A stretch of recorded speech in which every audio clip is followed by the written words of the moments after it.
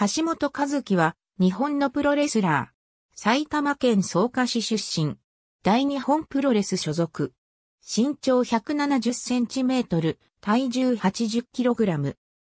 2009年3月、高校卒業と同時に大日本に入団し、9月21日、札幌定戦ホール大会でデビュー。2010年は4月29日から5月5日までの海援隊土女主催系メタルリーグに初出場で初優勝。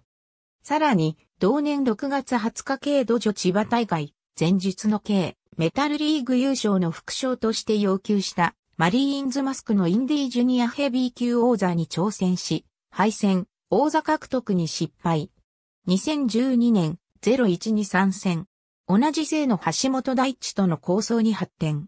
6月には大地とシングルマッチを行うが敗れている。しかし同年の大日本最キャン、タックリーグ戦では構想していた大地と参戦し、予選敗退ながら2勝を挙げた。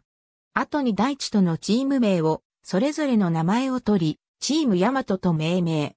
その後も、最キャンタックには2013年に、小畑優作と出場したが、予選敗退。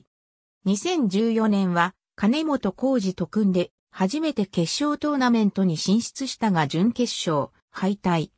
2016年2月、全日本プロレスのジュニア、バトルオブグローリーに参戦。優勝決定戦まで駒を進めるが、最終公式戦にて、左腕尺骨骨折、長期欠場に加え、一期当選のエントリーも取り消しとなる。8月23日に復帰。欠場中に肉体改造を施し16キロ減量。蹴りの切れ味を増して帰ってきた。8月22日の上野恩賜公園大会では、6人タッグマッチを行う。忍、野村拓也の3人タッグで、吉野達彦、関札、光太、青木優也との3人タッグと対決。